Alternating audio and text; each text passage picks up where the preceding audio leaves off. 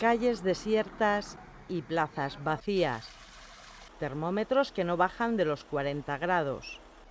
Abanicos a pleno rendimiento y las imprescindibles botellas de agua para los que se atreven a salir a la calle. Es la estampa que deja la ola de calor que ha puesto hoy en alerta a 39 provincias en España. El intenso calor continúa siendo protagonista en toda España este primer fin de semana de agosto. Andalucía se encuentra al rojo vivo. En Córdoba, Huelva y Sevilla la alerta es roja por riesgo extremo de temperaturas, lo que hace imposible asomar la cabeza a la calle. Igual ocurre en Badajoz.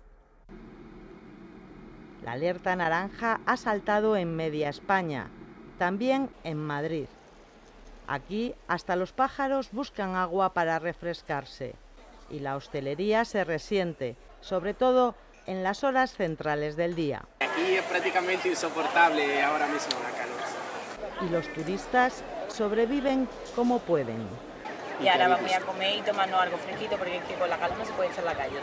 Imágenes que contrastan con las playas abarrotadas, una de las mejores opciones para combatir el calor que también se está notando con fuerza en las ciudades costeras. Es el caso de Cataluña, donde el termómetro ha rozado o superado los 40 grados. Es la peor parte de la ola de calor, ya que se espera que el domingo empiecen a descender las temperaturas.